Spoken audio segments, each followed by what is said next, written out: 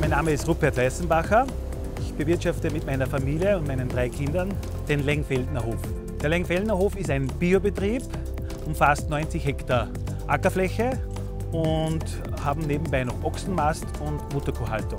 Wie man sieht, haben wir ein sehr großes Hofareal mit einer geteerten Fläche von ca. 2000 Quadratmeter. Deswegen haben wir uns auch diese Maschine angeschafft, die BEMA 25, und ist für uns natürlich nicht mehr wegzudenken. Bei den Hofarbeiten verliert man Schmutz und Dreck und früher haben wir das mit dem Besen zusammengekehrt. Seit wir dieses Gerät haben, ist das für uns eine große Erleichterung. Also das geht jetzt maschinell und eine sehr saubere Arbeit.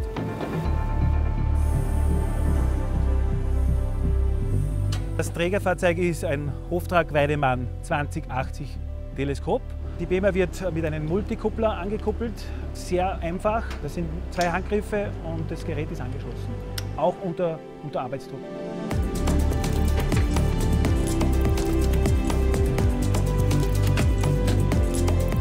Die BEMA ist voll ausgestattet bei uns. Sie hat eine Auffangwanne, eine hydraulische.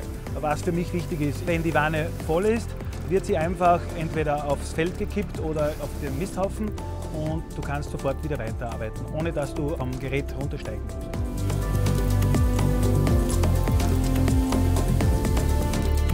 Wir haben große Gebäude, lange Ecken und Kanten. Dadurch haben wir auch die Seitenbürste von der BEMA drauf. Sie arbeitet wirklich in jede Kante, jede Ecke rein. Das funktioniert sehr gut, wo man früher mit der Hand nachhelfen musste.